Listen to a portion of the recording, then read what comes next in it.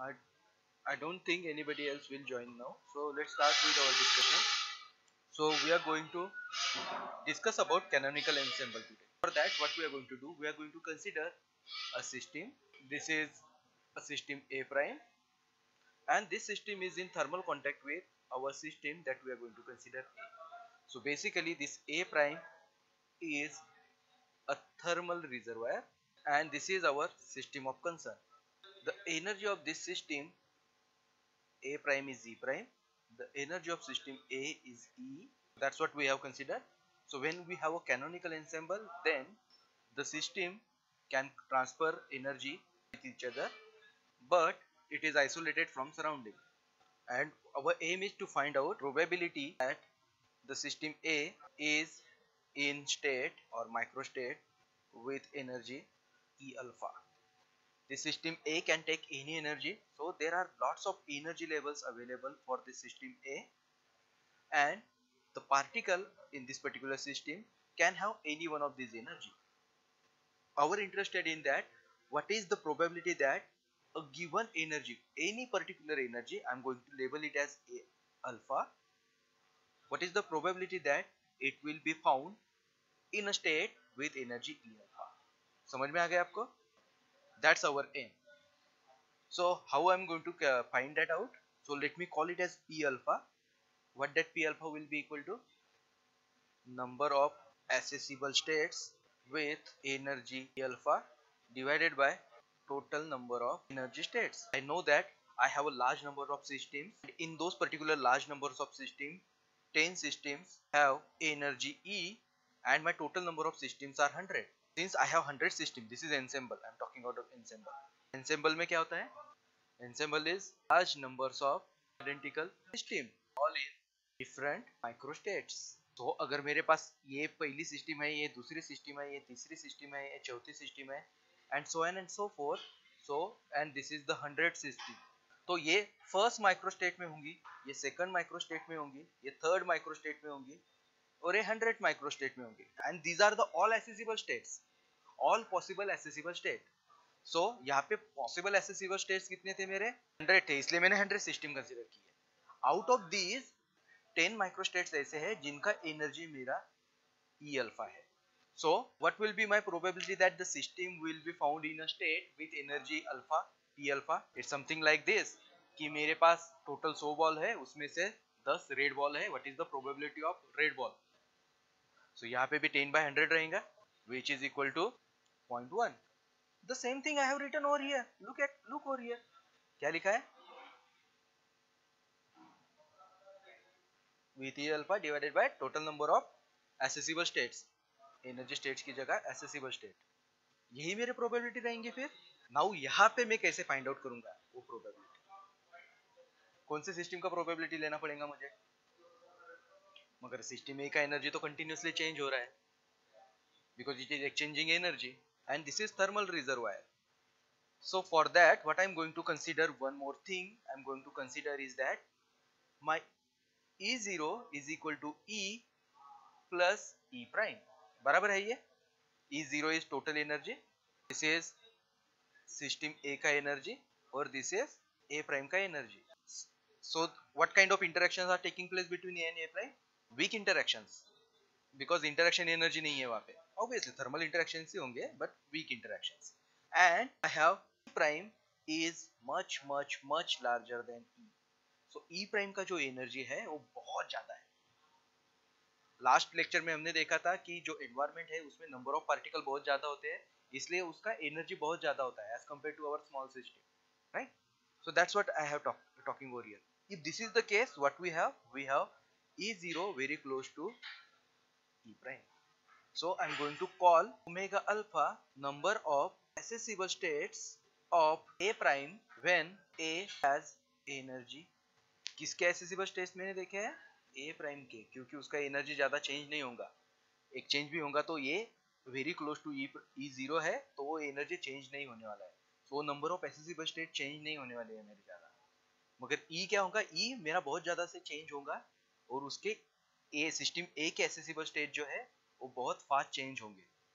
ए prime के change नहीं होंगे। That's why I am considering number of accessible states of A prime so E alpha is the number of accessible states of A prime when A has energy E alpha right and omega zero is all accessible states of combined system so let me explain it this using some example suppose मेरा system A का ऐसे है, मेरी A system है और this is my A prime system and my total energy E zero is E तो what I can have I can have energy of system A is equal to zero A prime is equal to three I can have energy of system A is equal to one E and A prime is equal to two E I can have this is equal to two E and this is equal to one E this is equal to three and this is equal to zero E So for this there will be let's say n1 number of accessible state. For this there will be n2 number of accessible state, n3 number of accessible state and for this N four number of accessible state हर एक की energy कितनी है total energy three है now यहाँ पे देखो total number of accessible states कितने हैं फोर है सिर्फ़ these are configuration these are just energies number of accessible states are this so this is my total number of accessible state and i'm denoting it by omega 0 and if i am considering e alpha is equal to 2e then what is omega alpha two E किसका energy चाहिए मुझे system A का energy to E है what is omega alpha when system A has energy 2E, A prime will have energy 1E और उसके number of accessible states कितने हैं N3 so this will be N3 then what will be P alpha that will be equal to omega alpha divided by omega 0 N3 by N and what is this this will be probability system A is in any one of state with energy E alpha. Think it as something ball का example दिया है ना वो देखो आप कि मेरे पास 100 balls है उसमें से 10 बॉल मेरे ग्रीन है so what is the probability that अगर मैं एक बॉल निकालूँगा तो ग्रीन रहेगा 10 by 100 the same thing is over here the only difference is that instead of considering number of accessible states of system A I am considering number of accessible states of A prime is it going to change anything no क्योंकि ये जब एन3 है तब यहाँ पे भी कुछ states रहेंगे ना उतने स्टेट्स रहेंगे so this is corresponding to this particular energy so ultimately this particular number is not only for A prime this is the combined system का नंबर है देखो जब यहाँ पे टू ई e है, तब one E one E energy होने के लिए कितने एसेसिबल स्टेट्स है, वो मैं देख रहा हूँ। Instead of looking at A prime I am actually looking at combined system so क्या देख रहा हूँ मैं अगर मेरा सिस्टम का एनर्जी टू ई है that time in order to maintain energy of three E total energy three E मेरे ए प्राइम का एनर्जी वन ई होना चाहिए तो वन ई के नंबर ऑफ़ एसेसिबल स्टेट्स कितने हैं? मतलब the number of accessible states such that A has energy two E A prime has energy one E is N and that n3 i am denoting by omega alpha So omega alpha is A has energy 2E and A prime has energy E. And what is omega 0? Omega 0 is number of states such that total energy E is 3E. हाँ repeat कर दो okay so देखो यहाँ पे हमने क्या लिखा था जब हम कंबाइन सिस्टम का देख रहे थे that time we said that the probability of E is number of accessible states when A has energy E and total energy is E zero divided by total number of accessible states when the total energy is E zero this is my probability last lecture में हमने देखा था और हम किसका देख रहे थे? कंबाइन सिस्टम का देख रहे थे। तो अभी मैं यहाँ पे क्या बोल रहा हूँ? Same thing just different wording अभी यहाँ पे मैंने एक एग्ज़ाम्पल दिया कि सपोज़ कि मेरा कंबाइंड एनर्जी E ज़ीरो है और मेरे पास दो सिस्टम्स है। I have system A and I have system A prime and when I have such a in order to have total energy three E I could have system A का energy zero और A prime का energy three E right one E two E two E one E three zero E हर एक हर एक case के लिए, हर एक केस के लिए देखो मेरा टोटल एनर्जी कितना हो रहा है? थ्री हो रहा है टोटल एनर्जी कंबाइन सिस्टम का। Now what I am what I am going to call I am going to call omega alpha is number of accessible states of A prime when A has energy E and total energy zero so that is what omega alpha is and omega zero is number of accessible states of A prime when total energy is E0. ये जो omega zero है वो actually में क्या है मेरा omega zero E zero जो हमने लास्ट इसमें देखा था number of accessible states when the total energy is E0 and this omega alpha is actually omega 0 E omega 0 E कैसे क्योंकि यहाँ पे मैंने restriction डाल के रखा है कि total energy E0 होगा यहाँ पे देखो this plus this plus this plus this that will give me omega 0 E0 और अगर सिर्फ़ इसको देख रहा हूँ मैं when system A has energy 2E and A prime has energy 1e इसका मतलब क्या है I am talking about omega 0 e just a change of symbols and the probability obviously probability that a system can be found in any one of these accessible states is given by omega alpha by omega 0 consider it to be, मेरे पास hundred balls है अलग अलग colour के। So hundred ball में से N one ball जो है, वो रेड कलर के है this is red colour N two ball blue colour के है N three ball green colour के है, और N four ball white colour के है।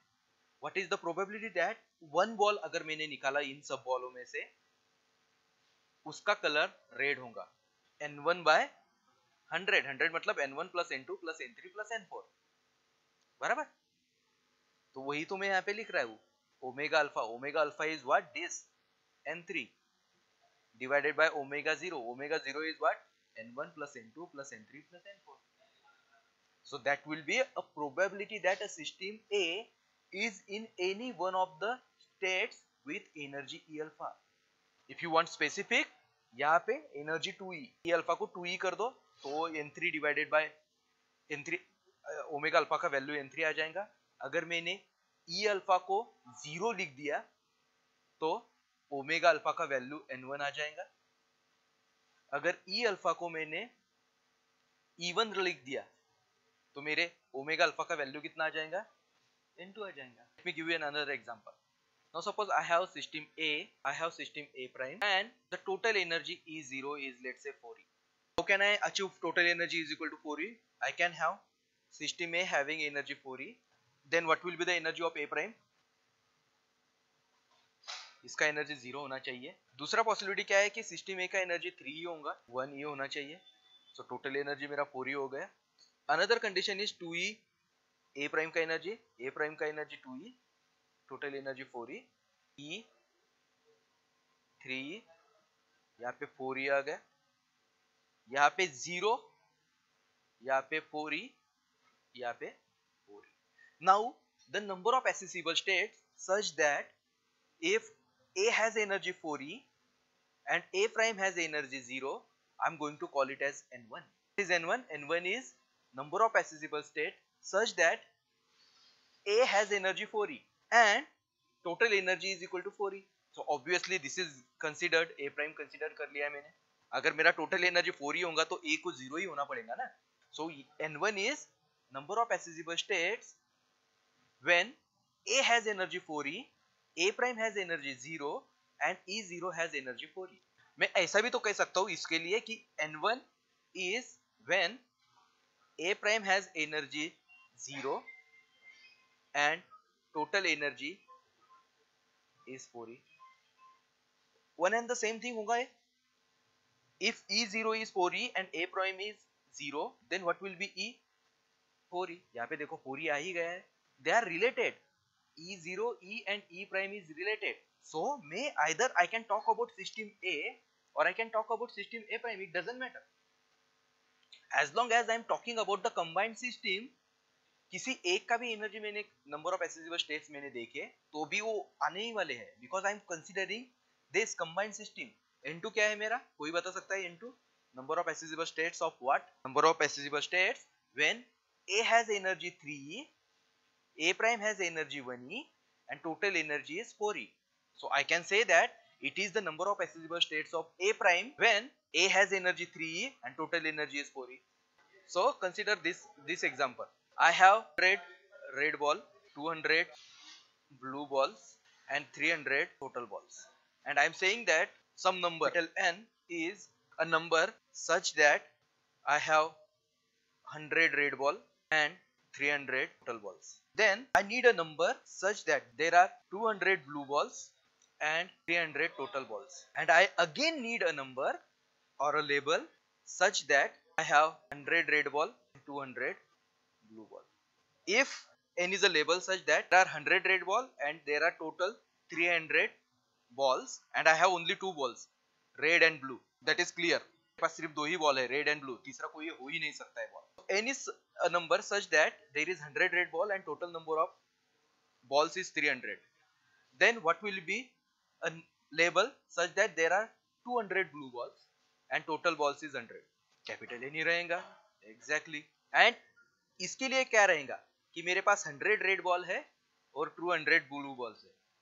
वो भी वही रहेगा। I can call it N is equal to 100 red ball and 300 red ball और I can call n is equal to 200 blue balls and 300 total balls और I can call N is equal to 100 red ball and 200 red ball the same thing goes over here I can call N one such that a has energy 4e a prime has energy 0 and e0 has energy 4e Or, I can call n1 number of accessible states such that A has energy 4E and total energy is 4E. It is consider कि A prime का energy zero ही होगा जैसे कि यहाँ पे आपने consider किया है कि अगर मेरे पास 200 ब्लू बॉल्स है तो 100 रेड बॉल रहेंगे so what I am trying to say over here is that omega zero जो हमने इनिशियल जो नोटिफिकेशन लिए थे E is equal to omega zero prime of prime what does omega zero represent total system zero represent total system so so, मैं total system जब बोल रहा हूँ तब I am talking about total energy is four E तो मैं system के बारे में बोलूँ या सिस्टम बी के बारे में बोलूँ it will be the same N one ही रहेगा वो। मैं सकता हूँ कि ए का एनर्जी फोर ई है या मैं कि ए प्राइम का एनर्जी ज़ीरो है। As long as I am talking that total energy is four E A has energy two E A prime has energy two E and total energy is 4e i'm calling going to call it as n3 when i say it something like that ki N3 is number of accessible states such that A has energy 2E and total energy is 4E. Can I say that? अगर A का energy 2 ही है तो A prime का energy कितना होना चाहिए E होना चाहिए और टोटल एनर्जी क्योंकि मेरा टोटल एनर्जी 4 ही है so I can say that can I say something like this कि N3 is the number of accessible states such that A prime has energy 2E and total energy is 4E. Prime का energy 2E रहेगा और total energy 4E रहेगा। कब possible है? A का energy 2E रहेगा, तभी पॉसिबल है। मैं इसके बारे में बात करूँ या इसके बारे में बात करूँ? I am talking about actually talking about the combined system similarly for this when a has energy 1e and a prime has energy 3e this is n4 number of accessible steps this is 0 this is 4e this is n5 now let me ask you a question. What is the probability that if i take a system at a मैंने अगर एक system को consider किया randomly, उस system का energy even होगा। A में से अगर मैंने सिस्टम को ए सिस्टम कंसीडर कर रहा हूँ मैं, अगर मैं ए सिस्टम को कंसीडर करूँगा तो what is the probability that उस सिस्टम का स्टेट्स ऐसा होगा कि उसका एनर्जी सिस्टम का एनर्जी ई होगा। उसका प्रोबेबिलिटी कितना होगा? Number of state corresponding to states ऐसा होगा कि उसका एनर्जी सिस्टम का एनर्जी ई होगा। वो क्या है? Divided by total number of states यही तो मेरा प्रोबेबिलिटी है। So let me write that over here omega zero alpha is number of accessible states of combined system when A is in a state with energy E alpha and total energy is E zero so let me write it as and omega zero E zero is number of accessible states of combined system when total energy is E0. P alpha will be equal to omega 0 alpha if you like e prime divided by omega 0 e0 so let's not use 0 over here वो complication बढ़ाएगा so omega 0 e prime is number of accessible states such that a is in a state with energy e alpha and total energy is e0 I can say that is of combined system or a prime. It doesn't matter because they will be same. Now can I write it something like this? What will be if I have some beta with me? What will be e to the power ln of beta? That will be equal to beta. So can I write it something like this? E to the power ln of omega alpha e prime divided by omega 0 e 0 I can write it something like this and I know that over here E prime is much much much greater than E. Because E prime is a thermal reservoir and hence E prime is very close to E0 I am using this relation. Okay. Now since E prime is very close to E0 I can expand this particular omega alpha E prime at E0 using a Taylor series expansion. So what will be ln of omega alpha E prime is equal to I can write it as ln of omega alpha E0 minus E alpha. So this is uh, always instead of E I am using E alpha it for one particular energy because I am using alpha over here. So this I am going to expand this particular quantity ln of omega alpha E0 minus E alpha that will be equal to how much? Taylor series में हम क्या करते हैं? We take the function at किस value पे हम उसको expand कर रहे हैं E0 को. So I am going to take this function at E0 itself. So that would be ln of omega alpha at E0 plus d ln of omega E0 minus E alpha divided by by E prime into E alpha with a minus sign. Taylor series है minus sign. So this will be ln of omega alpha E0 as it is minus. What is this? This is expanded at E0. What is this quantity? Thereby ln of omega of some energy divided by that energy this is differentiated with respect to e prime. E0 minus e alpha is also e prime. So what is this? Delta by ln of omega e prime divided by delta by e prime. Beta into e alpha. Even if you say that this is beta prime we know that at equilibrium beta is equal to beta prime. So it doesn't matter. hum kya le rahe so that would be beta. And what is beta? Beta is equal to 1 over kt so what will be omega alpha e prime? Omega alpha E0 into so let me call it as equation B and this will be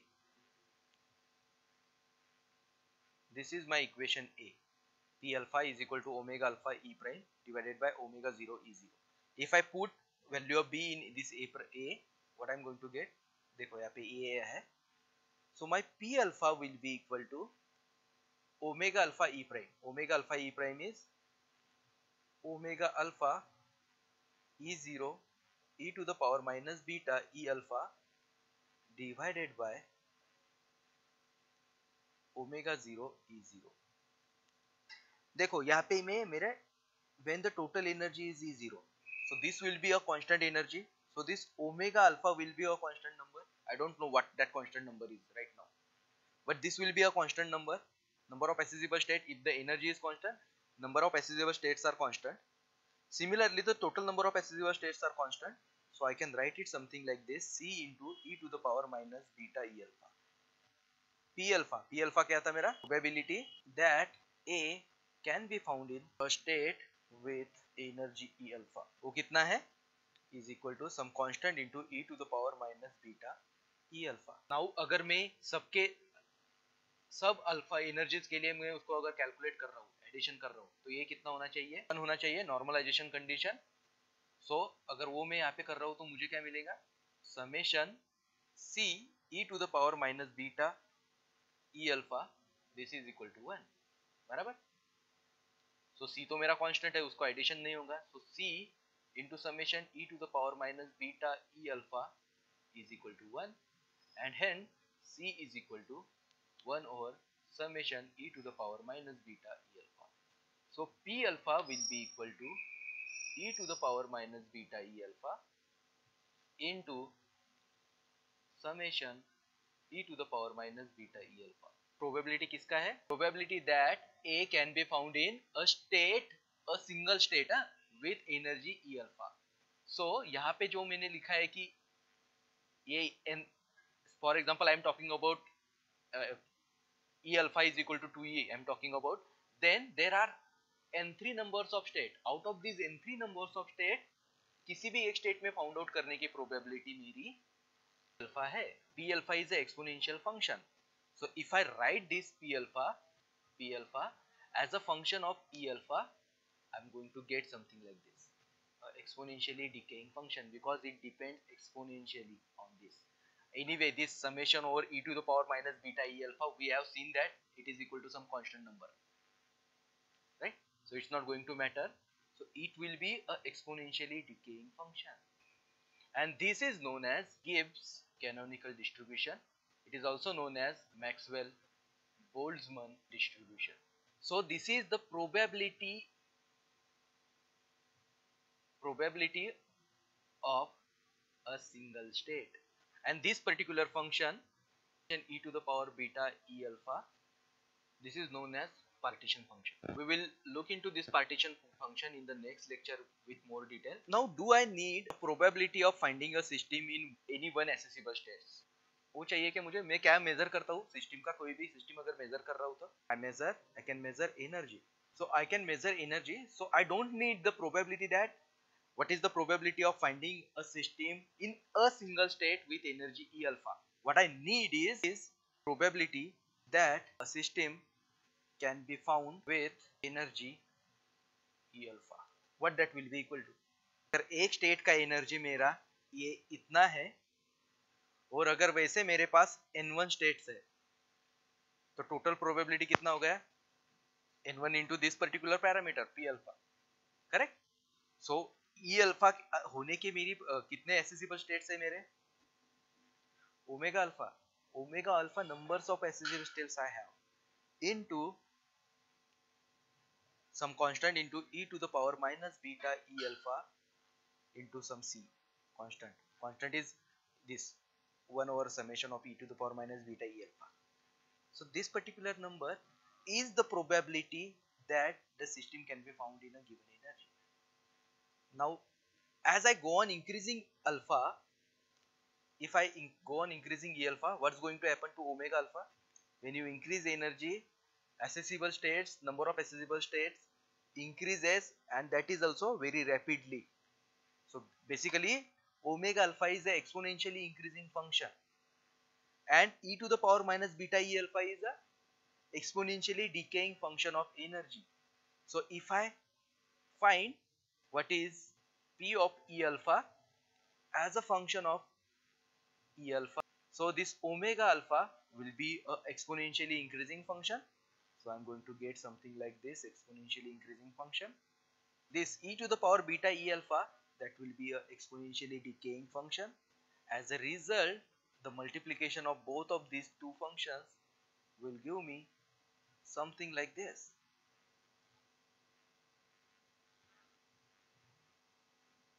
So this probability will reach a maximum value at one particular energy and this E tilde energy correspond to my equilibrium state energy. The same thing that we have seen when two systems are interacting उस वक्त हमने जो देखा था the same thing we are getting. The only difference over here is that this is the actual distribution, वहाँ पे हमने distribution नहीं देखा था, यहाँ पे हमने डिस्ट्रीब्यूशन देखा है। This P alpha is a distribution this is also known as gives canonical institute distribution it is also known as Maxwell बोल्सम distribution let me derive it using another way what I am going to derive I am just going to derive this gives canonical ensemble distribution so, since i have canonical ensemble, it can exchange energy. But it cannot exchange the number of particles. Now suppose I have large numbers of such systems with me. So this is my ensemble, large numbers of identically prepared system and I have out of this ensemble there are n1 systems with state having energy E1. There are n2 systems with states having energy E2. There are N3 numbers of systems with states having energy E3 and so on and so forth. There are Ni number of systems with states having energy EI. So मेरे पास बहुत सारे systems है. I'm considering an ensemble. Out of those systems, there are N1 numbers of system with energy E1, N2 numbers of system with energy E2, N3 numbers of systems with energy E3, Ni numbers of system with energy EI. What is the number of accessible states for such a system? ये मेरा एक configuration हुआ ठीक है then अगर मेरा फिर से उन्होंने इंटरेक्ट कर लिया तो मेरा क्या होगा this n1 n2 n3 they are changing continuously right so for this given configuration what is the omega summation ni is equal to constant and summation ni into ei is equal to e0 total energy of that ensemble because total energy of ensemble is not changing they can exchange energy with each other only this system can exchange energy with this system but the total energy of the ensemble is constant so ni into ei is constant so what will be this omega this is something like this एक single system में मेरे यहाँ पे n1 number of particle है यहाँ पे n2 number of particle है यहाँ पे n3 नंबर ऑफ़ पार्टिकल है यहाँ पे n4 नंबर ऑफ़ पार्टिकल है और total number of particle n है so how do you calculate omega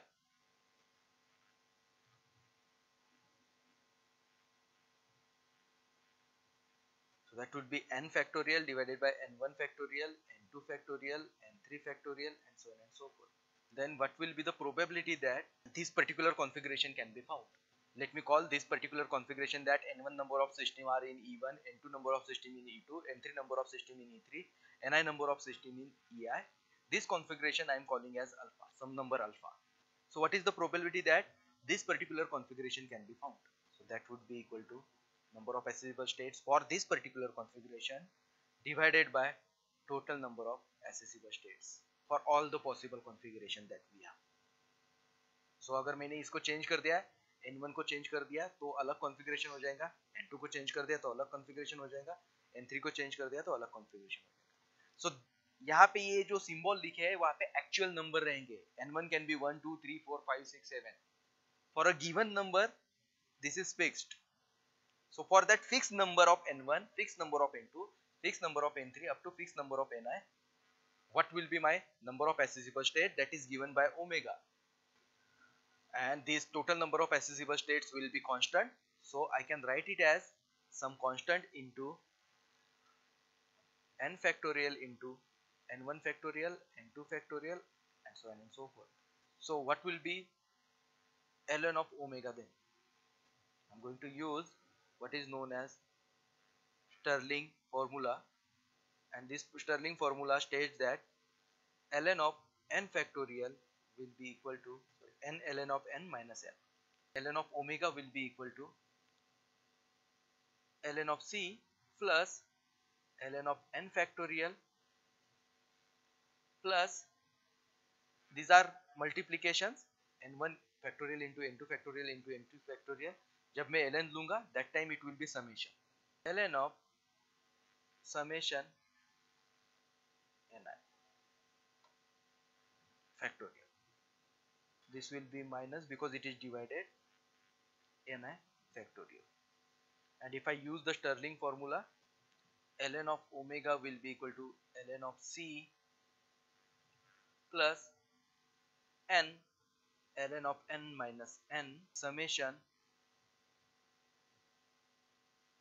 ni ln of ni minus ni.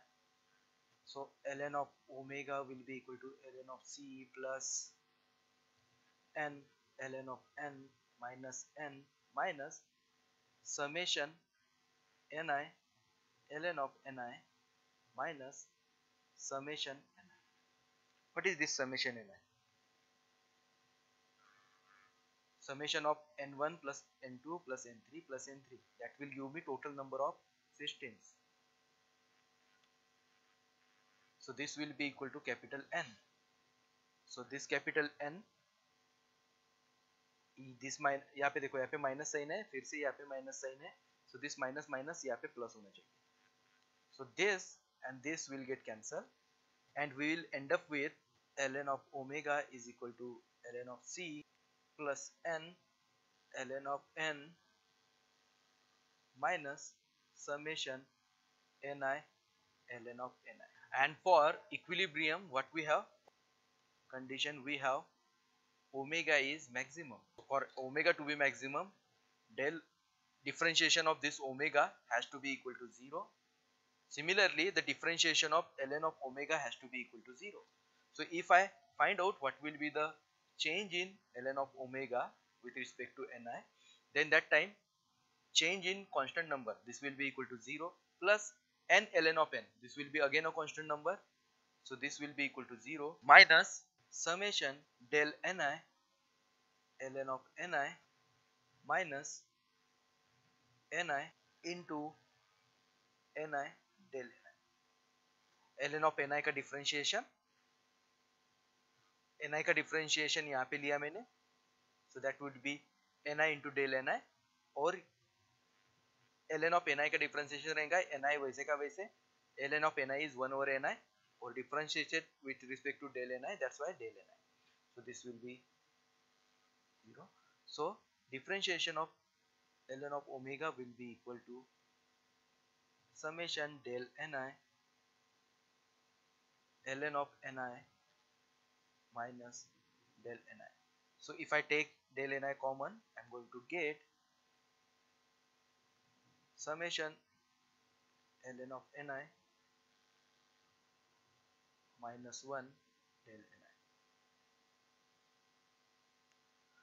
So we have got this condition and this has to be equal to since this for maxima this differentiation has to be equal to 0 so this is also has to be equal to 0 so what we have got we have got this particular thing summation del ni ln of ni minus del ni oh यहाँ पे मैं summation का summation छूट गया पे नहीं यहाँ पे समेशन छूट गया समेशन चाहिए था so this will be summation and कौन सा दिस विल बी माइनस यहाँ पे माइनस ही है ना सही so del N I L N of N I okay हाँ ठीक है यहाँ पे माइनस साइन चाहिए ठीक है सबका माइनस है so this will be summation del ni is equal to 0 and these are subjected to this particular condition summation ni is equal to capital N and I have talk, told you that summation ni ei is equal to total energy so if I differentiate this if I change this number of ni that time del ni change in number of particle is equal to 0 and change in total energy is equal to 0. So, subjected to these con two conditions, this need to be satisfied. And the way of solving such a problem is known as Lagrange undetermined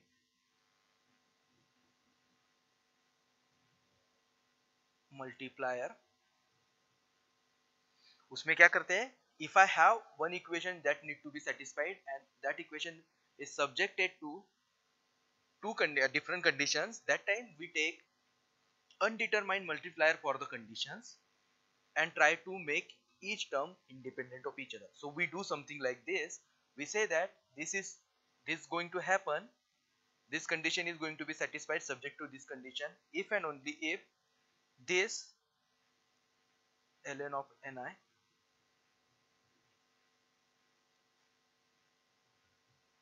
uh, by the way what this will be equal to summation del ni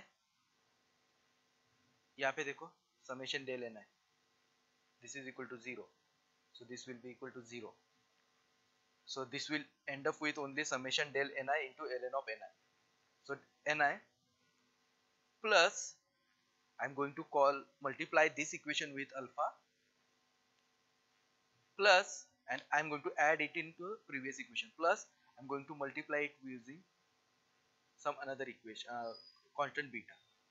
Beta times ei del ni this need to be equal to 0 so basically what I have done I have this summation del ni ln of ni is equal to 0 this is my equation that need to be satisfied and these are the conditions that is imposed on this equation so i have added all these equations with a जो conditions थी उनको मैंने एक undetermined multiplier से multiply किया so i have multiplied this with using beta uh, sorry alpha and i multiplied this using beta so i am going to get ln of ni del ni plus alpha del ni plus beta ei del ni so del ni I have taken common and this has to be equal to 0.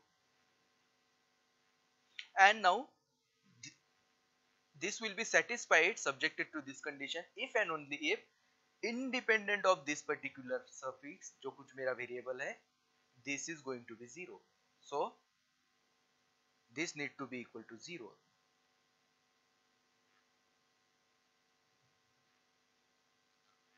This is what Lagrange undetermined multiplier is. So I have got a condition that this will be satisfied if and only if ln of ni plus alpha plus beta epsilon i is equal to 0.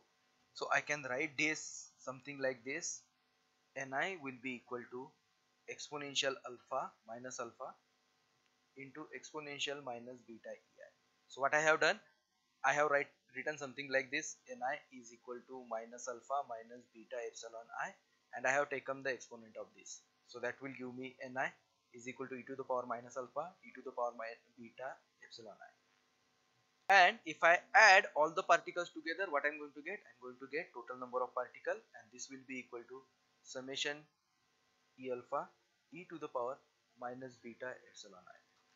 What that is equal to? So that is total number of particle is this particular quantity. So total number of particle what will be summation e to the power alpha? Alpha is a constant number undetermined multiplier alpha is a constant. So I can take this out of the summation. So that would be e to the power minus alpha summation e to the power minus beta epsilon i.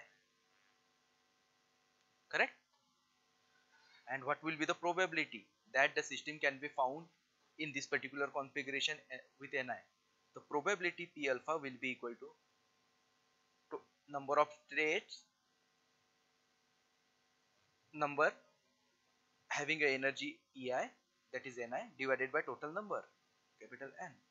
So if I put these two equations together what I'm going to get I'm going to get e to the power minus alpha into e to the power minus beta epsilon i divided by e to the power minus alpha summation e to the power minus beta epsilon i. This will get cancelled. And p to the power alpha will be equal to uh, uh, probability that a system can be found in any one state having energy E alpha is equal to e to the power minus beta epsilon i divided by summation e to the power minus beta epsilon i. Now if I put epsilon i is equal to e alpha, I am going to get this value.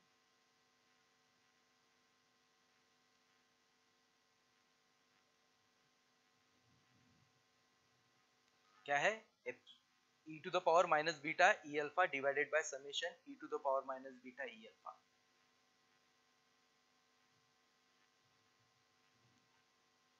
e to the power minus beta e alpha divided by summation e to the power minus beta e. So this is the alternative way.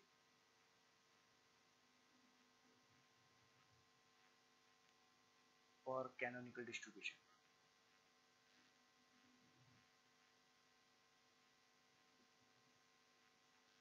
In tomorrow's lecture, uh, what we'll do, uh, we will discuss about the physical significance of this particular thing and we will try to solve some of the problem based on this canonical ensemble how we can use this canonical distribution to solve some problems.